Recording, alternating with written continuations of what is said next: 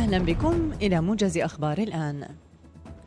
وقع الرئيس الروسي فلاديمير بوتين على قانون يسمح لموسكو بالإبقاء على قاعدتها الجوية في سوريا لنحو نصف قرن.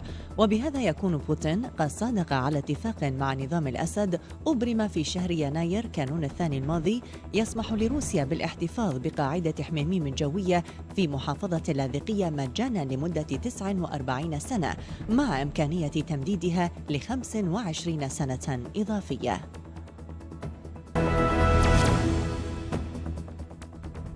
أعلنت إيران أنها تمكنت بنجاح من اختبار صاروخ يمكن أن يحمل قمرا صناعيا إلى مداره وكان الصاروخ المسمى العنقاء قد أطلق من المركز الفضائي الجديد في محافظة سمنان شرقي طهران.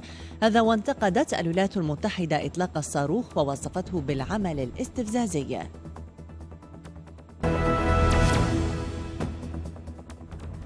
أعلن تحالف دعم الشرعية في اليمن أن إطلاق الميليشيات الحوثية لصاروخ باتجاه مكة المكرمة هو محاولة يائسة لإفساد موسم الحج. وأضاف التحالف أن استمرار تهريب الصواريخ إلى الأراضي اليمنية يأتي بسبب غياب الرقابة على ميناء الحديدة. وأوضح أن تهريب الصواريخ يأتي نتيجة لسوء استخدام التصاريح التي يمنحها التحالف للشحنات الإغاثية والبضائع.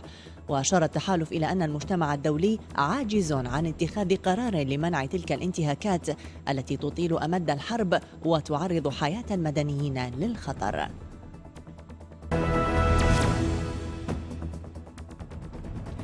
أقر مجلس الشيوخ الأمريكي بأغلبية ساحقة لصالح فرض عقوبات جديدة على روسيا وإيران وكوريا الشمالية وصوت لصالح فرض العقوبات 98 شخصا من أعضاء الكونغرس مقابل اثنين فقط اعترضا عليه.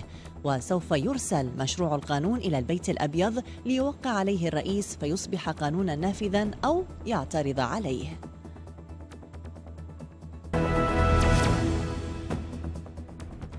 أعلنت مصادر طبية وعسكرية قتل أكثر من خمسين شخصا في هجوم نفذه مسلحو بوكو حرام على قافلة تضم أفراد طاقم يختص بالتنقيب عن النفط شمال شرقي نيجيريا. وقد تعرض الفريق الذي كان يتحرك تحت حراسة مشددة للهجوم وكان الجيش أعلن في بادئ الأمر نجاحه في إنقاذ أفراد الطاقم.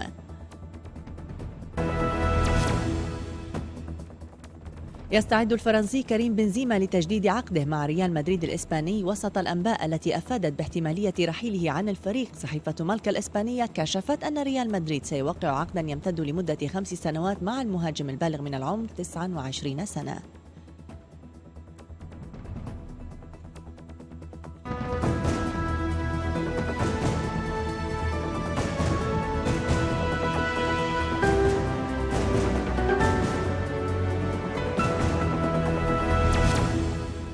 الموجز إلى اللقاء.